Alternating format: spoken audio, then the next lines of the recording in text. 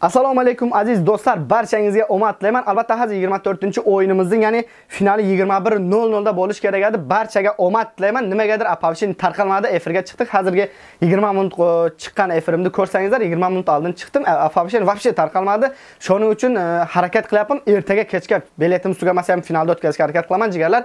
66 dana saplovli biletimiz qolibdi. Albatta o'yinga qatnashishda e, imkoniyat sizda hali ham bor. O'yinimizda общий biletimiz son 499 ta, priz 62 dana. Главный bir 100 ming rubl. Yana 20 mingdan bor, 8 mingdan, 7 mingdan, 6 mingdan, 5 mingdan, 3 mingdan pul konvertlari. Albatta kartaga Xurshid deb chiqadi. Taylang Sahran check va WhatsAppdan taylangiz. Stop bilet deb turib e, ro'yxatlarni chiqarib taylang. oqshom emas, ertalab chiqadi. Hammaga omad yor bo'lsin deb qolaman. Ertaga kechki payt finalda o'tkazaylik. Albatta bugun tug'ilgan kunim ekan. Sho'ta вообще tarqalardan dam olib qo'yarsan. Erta bilan chiqsam men, oqshom ham chiqsam men YouTube'da hamma kunni. Kattadan katta rahmat qo'llab-quvvatlab turganlaringiz uchun hamma tona burd bo'lmayman 66 dona bilet tashlondagi darvozi 24 hozir yakta yakta bilet بگیریم پگه شب فینالش می شود همه تانا برد باری میخوام دپانه خداوند باشین همه کسا گلاند پریز 100 هزار روبل با یک قیمت کمیته پولی هست اوبش بلیت 499 دونه 62 دونه پریز هست سپید کرده بلیت بگیریم